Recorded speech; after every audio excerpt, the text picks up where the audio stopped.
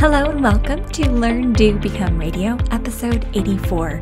I'm April Perry, and today's episode is lesson one of our step by step home organizing party. I am so happy you're here, and we are going to have such a good time today.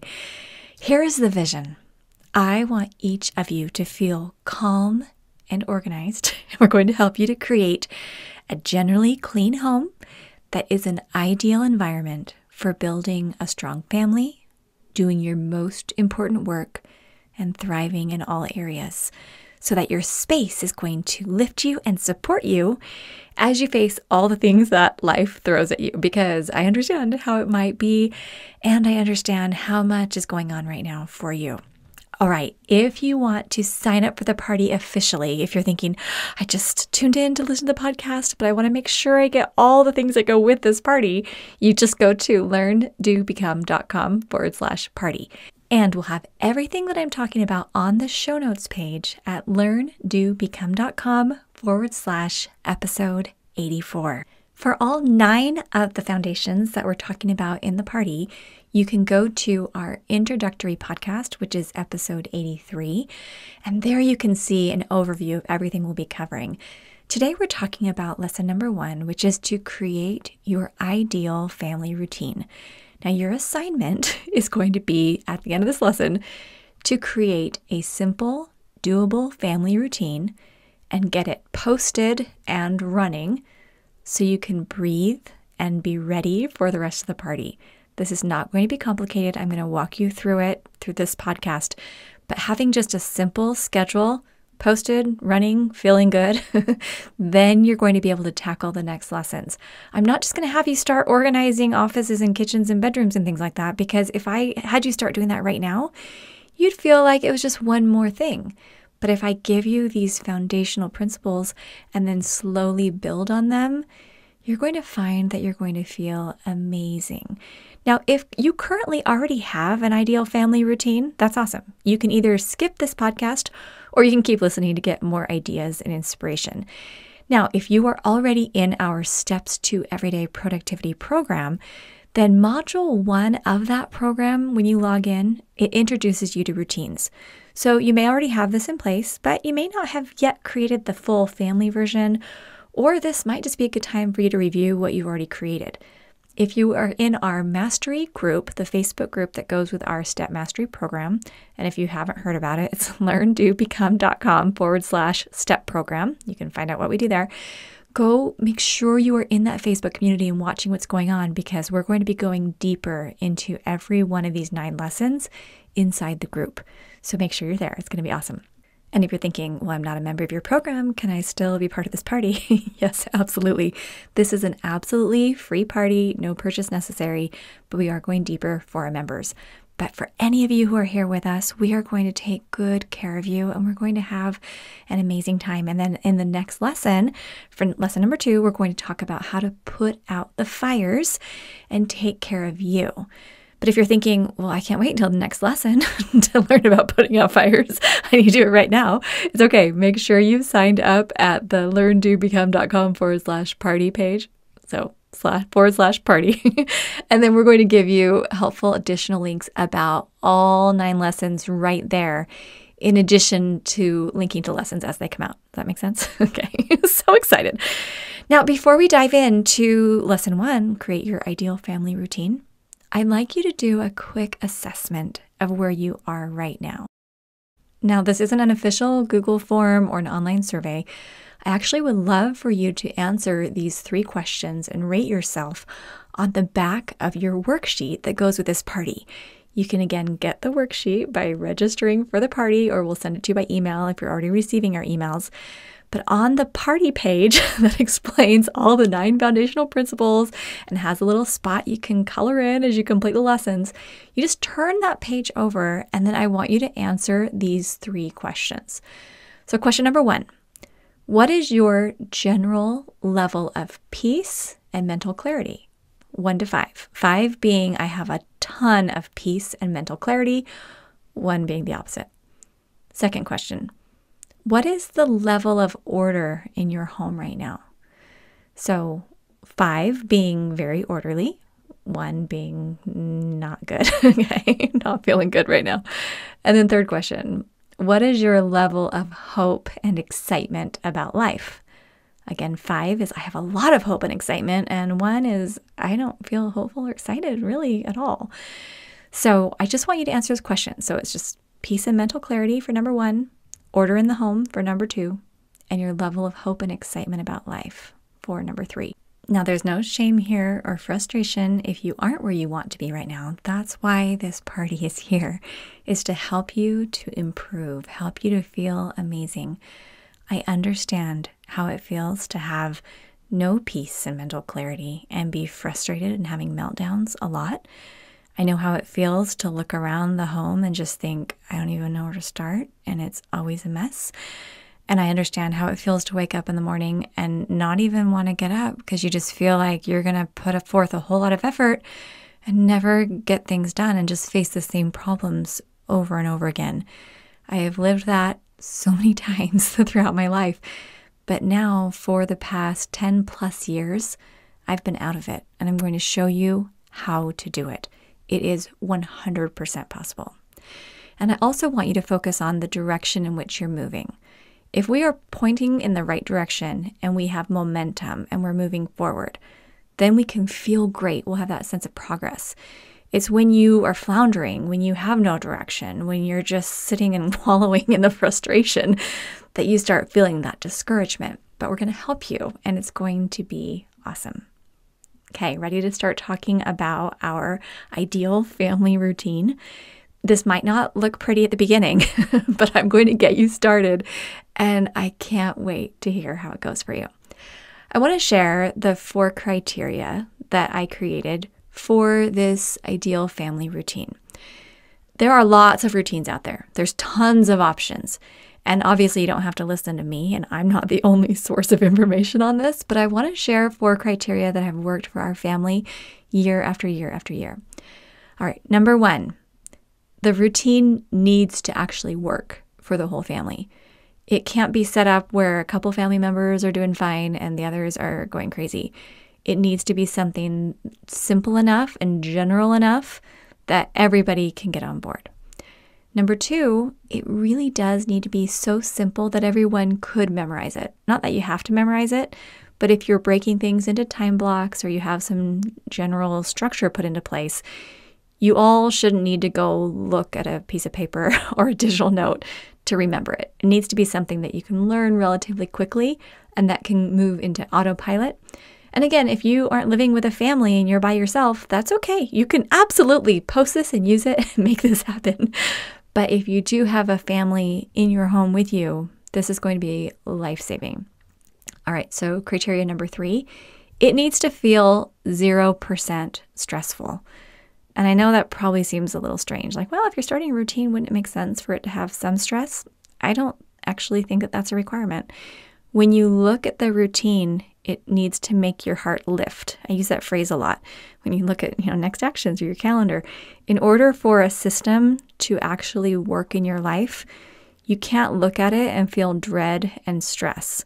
So I'm going to share with you some ideas on how you can do this. But when you see your routine, your stress level should just be a zero. You should think, okay, this works. This makes sense. It should alleviate the stress. And then the fourth criteria is it needs to lead you and any family members who may be there with you closer to who you want to become. Okay, so let's review those four again. Works for the whole family, simple enough, you could all memorize it, feels 0% stressful, and leads you closer to who you want to become. I hope that those four criteria feel exciting for you, and I'm just going to explain a little bit about our general family routine. We created a super simple sheet, and I'll explain more in the step by step process how we did that. But all we did was put in a very basic framework for the day. We found that we were all waking up at the right time, and we found we were going to bed too late, and we were all over the place when we didn't have a good routine in place. So now it looks something like this, and I'll put a copy of it on the show notes page. So learndobecome.com forward slash episode 84. You can just go there and look at it and just one idea will give you, and then you can adapt it obviously to meet your needs. But right now we have an eight o'clock time when the whole family gathers together and we do a prayer. We have some time just for our family to start the day off well. It's 8 to 8.30. Okay, so if people want to get up before that, great, but no one comes and talks to me until 8 o'clock, and we do it 8 o'clock to 8.30 time with the family. 8:30 to 10:30 is our flexible time. This is when we're exercising, showering, getting breakfast, doing any personal reading, anything else we want to do for a couple of hours. That works great for the ages of our children, how it's set up. Then we have a 10:30 to 12:30 structured work time. Eric and I are doing our work in our meetings, kids are doing their homework, schoolwork, or they have other things they're working on, you know, musical instruments or handwriting or typing or whatever else they're doing. We have an hour for lunch, 12:30 to 1:30, and then in the afternoon we have another 2-hour block of structured work time, 1:30 to 3:30. Then 3:30 to 5:30 is downtime. this is no screens. Actually, we do have 1 hour of screens allowed per day once all the work is finished. But this downtime, this is when I take a nap, or maybe we go on a walk, or lay in the backyard, or have time just reading, relaxing, whatever we want to do. Have a couple of hours, not necessarily all together. Then we have a dinner hour. And then in the evening, it's time with the family. We maybe do a campfire in the backyard. We play board games. We watch a movie together. We sing together. We look at photo albums. We organize closets. like it's so much fun. And as we start to build in the step by step home organizing part, you'll be able to fit it in maybe a little bit in that morning flexible time, or a little bit during the lunch break, or a little bit during the downtime, or some in the evening. We're going to show you how to break it into pieces.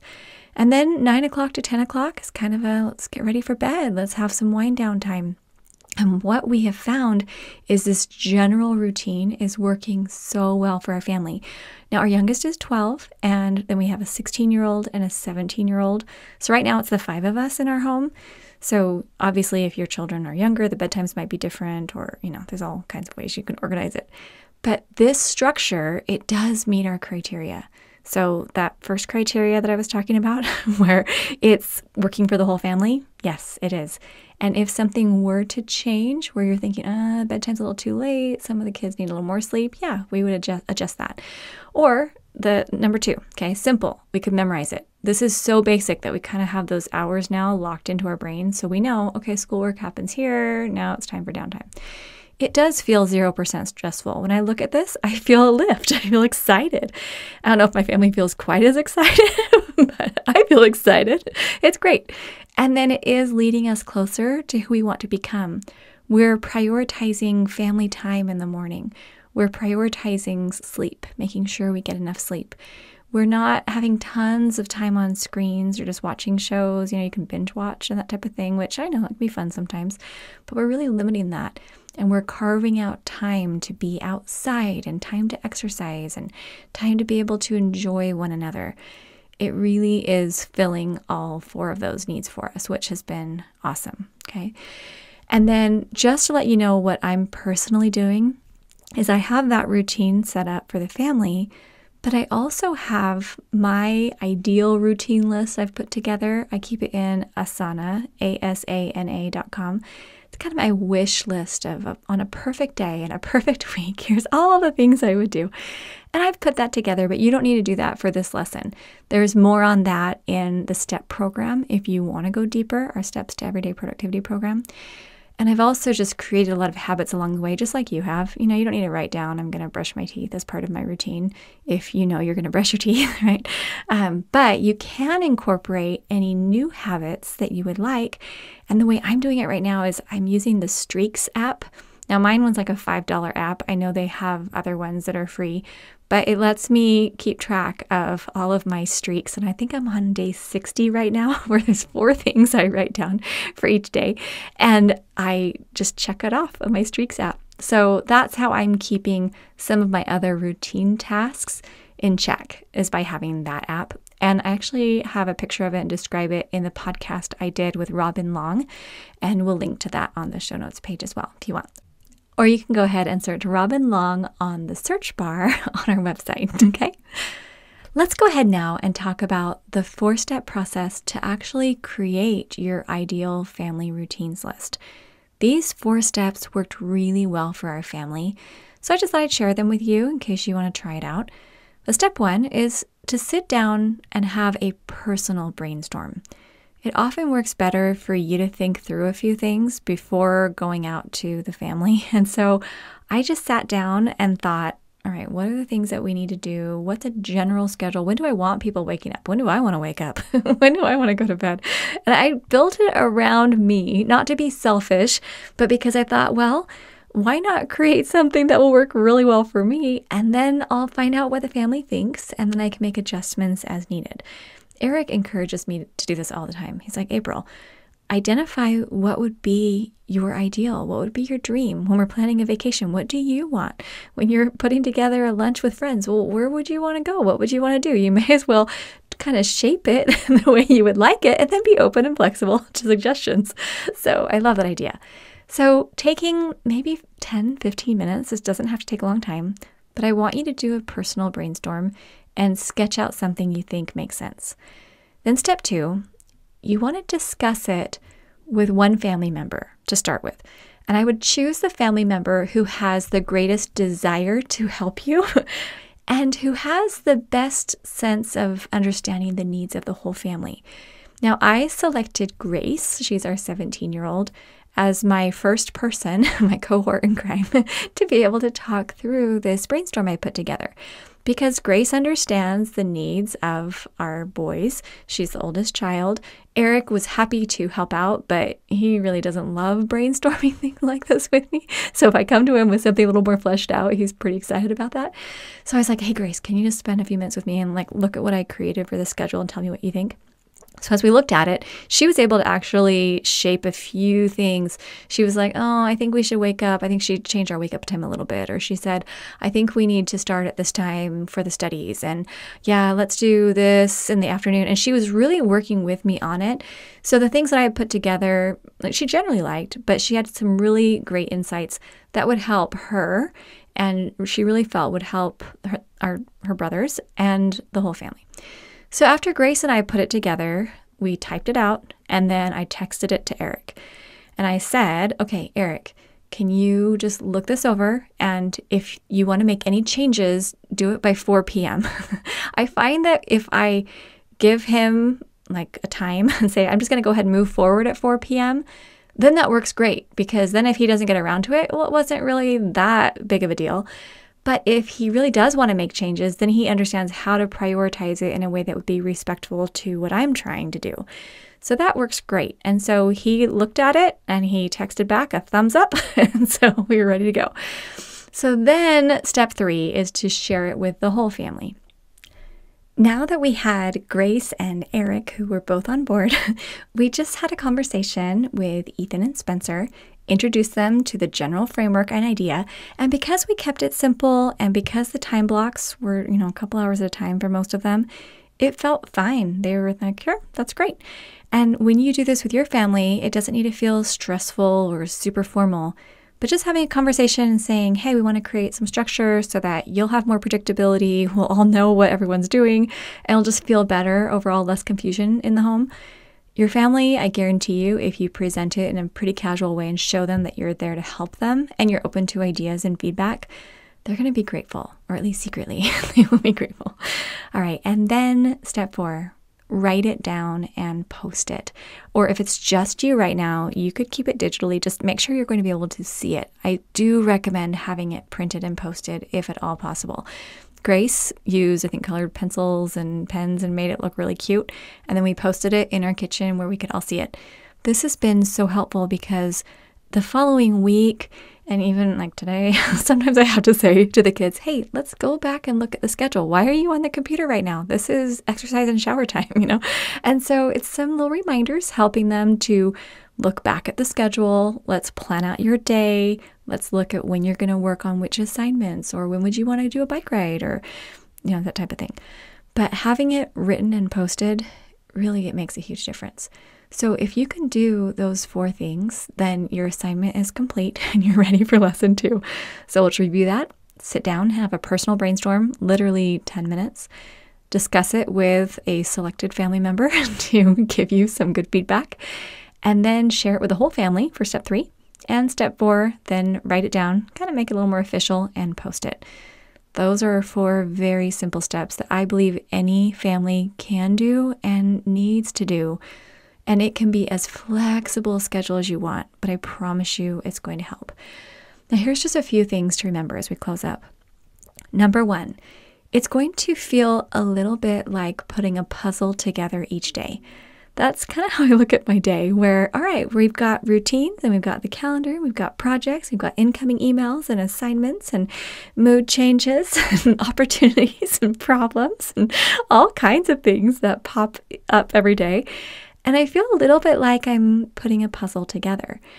But when you think about a puzzle, I mean, our family's actually been doing quite a few puzzles lately, working on them on the dining. We have one on the dining room table right now, and we have one on a table near our TV. like puzzles all over the place.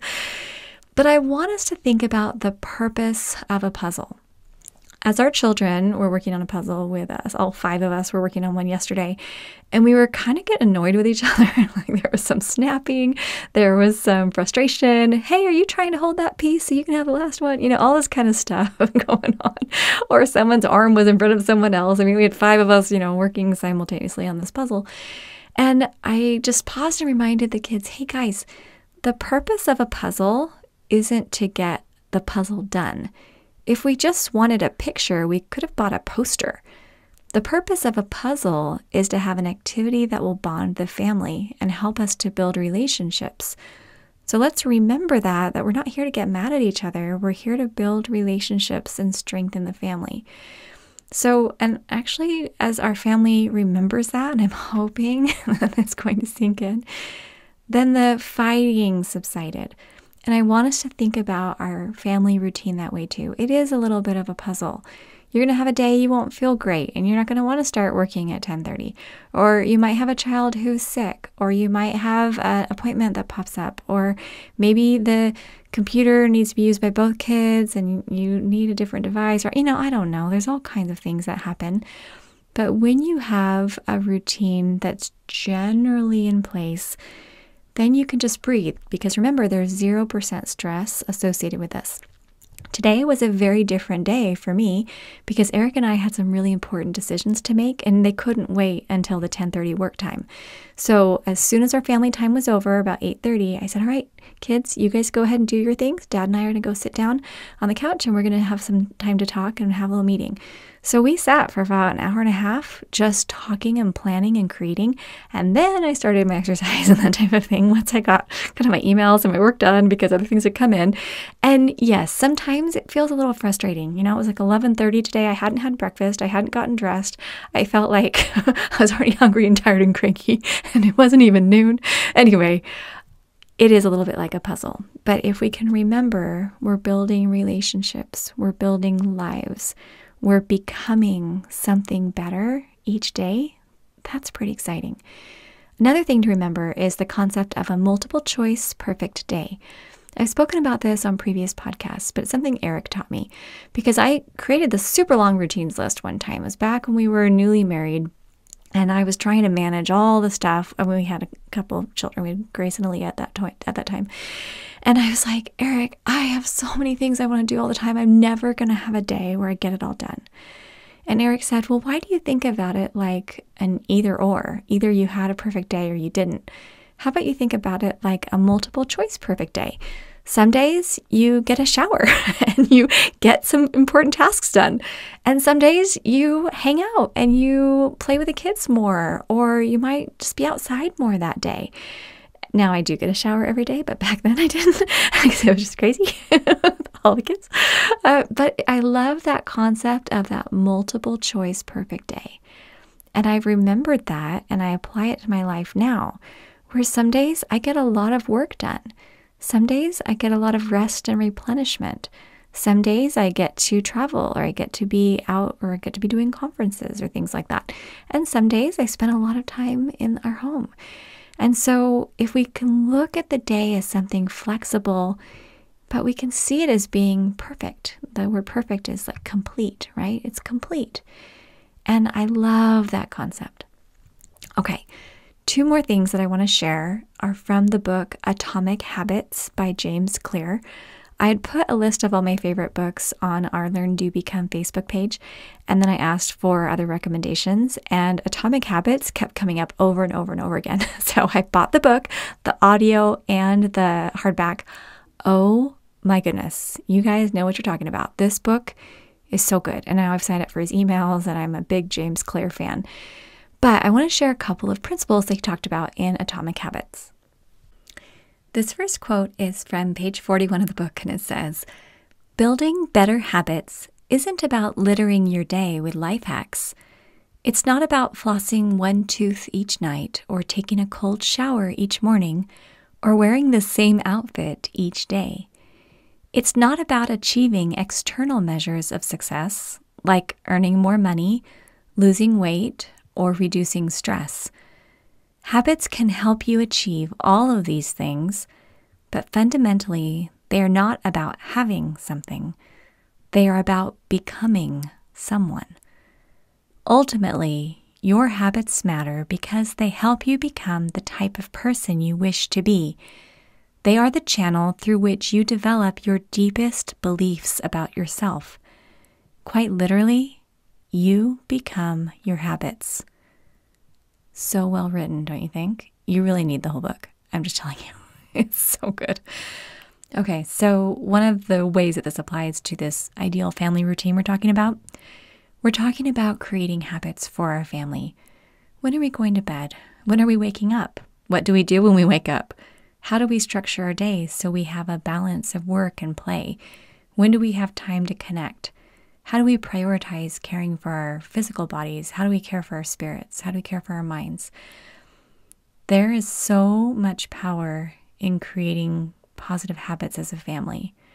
And sometimes you don't realize how powerful it is while you're going through the process because there's the whining and the frustration and the wiping counters and the dishes and everyone's cranky. Do I sound like my family's always cranky? We actually like we actually like just now as I'm recording this, I've had to record this in little bits and pieces, but I just tucked my teenagers in bed. So, Ethan, I went in first, talked with him. We went driving tonight, and he's working to get his driver's license. We had time just to talk about how he's feeling driving and how he wants to go practice every day. And he drove faster today than he ever had before. We went to an area that had the highest speed limit we've had yet. So it was awesome just to be able to be with him and talk with him about what he's thinking went and tucked in Grace. She's our 17 year old. And we were talking about the things that she's excited about. She's getting ready for college and her roommates and some of the things she's concerned about as well. We are just holding each other and just enjoying being together. I spent some time with Spencer. He came into my office while I was organizing some boxes and things. And he started dancing with me, like held one hand and put one hand around my waist, and we started dancing in my office. It was so cute. He just wanted to dance. I don't know. We didn't have music or anything. It was just awesome. And then I found this binder of all of our old family photos. I've been looking everywhere for it since the move, and I was kind of annoyed with myself that I couldn't find it. Well, it was in one of the filing cabinets in Eric's office, and I was like, oh my gosh, it's in there. So Eric and I were going through all these photos of our early days of marriage and our, all the baby pictures we have of our kids, and found our wedding video. I haven't even known where that was. I found our wedding video. Oh my gosh. Oh, I'm kind of getting off on tangent, but the reason I'm bringing this up is because the strong relationships that we've built in our family have not happened by accident. We've invested a ton of time spending time together, talking, working through things, overcoming challenges. And I know that when you build a structure that's going to support that more fully for you if you haven't already, or continue doing the great things you're doing. I know that there are so many awesome things already happening in your life. And because you know how it feels when you do something awesome and you feel that lift, you want more of that in your life. And I'm hoping that as I bring together things like this great quote by James Clear, or ideas from the community, or things we've learned from trial and error that is going to be helpful for you.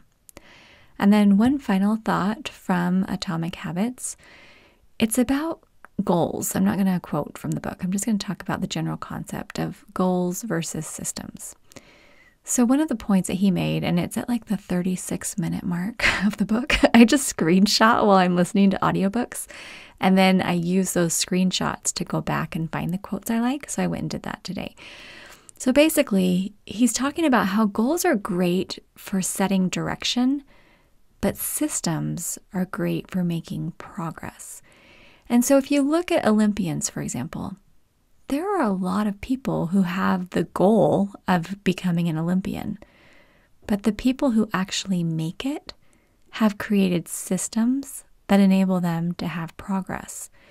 So if you say things like, "Oh, I'm I'm going to eat more healthfully," or "I'm going to lose 10 pounds," or whatever it is, great goal if that would help your body to be more healthy. But if you don't have a system in place to help you make sure you have the right foods available, or to help you learn what the right foods are, or to create routines for exercise or whatever it is going to support you, it doesn't matter how great your goal is. And that was really helpful. The other comment he made, and I'm not exactly sure where it was in the book because I was listening to it I was going to sleep at night, but he said, if you're only working on something because you're trying to achieve a goal, then once the goal is achieved, you don't really have a motivation to continue. But if you focus on the systems and creating sustainable habits that are going to carry you through your life, it doesn't matter when you reach a goal, you're going to continue these good habits that will serve you. And I really love that. So, just some some thoughts that I hope that hope will give you some ideas and inspiration and help you because it's not easy to move forward in a good direction always. Sometimes it feels a little easy. Most of the time, it takes some effort and discipline. So I'll close up now. If you want to get links or see an outline of everything I talked about here, and I'll include that James Clear quote on the page and a link to his book as well, go to learndobecome.com forward slash episode 84. Make sure you have signed up for the party. If you're already on our email list and we sent you this link, we'll include the worksheet there. So you don't have to sign up again unless you want to. But if you want to make sure you don't forget, then make sure you don't miss out. Go to the learndobecome.com forward slash party. We are going to take you step by step through getting your home organized, help you to feel calm and excited and help you to see that all the wonderful things that you want for your life actually can happen. Have a wonderful day. We'll see you soon at learndobecome.com.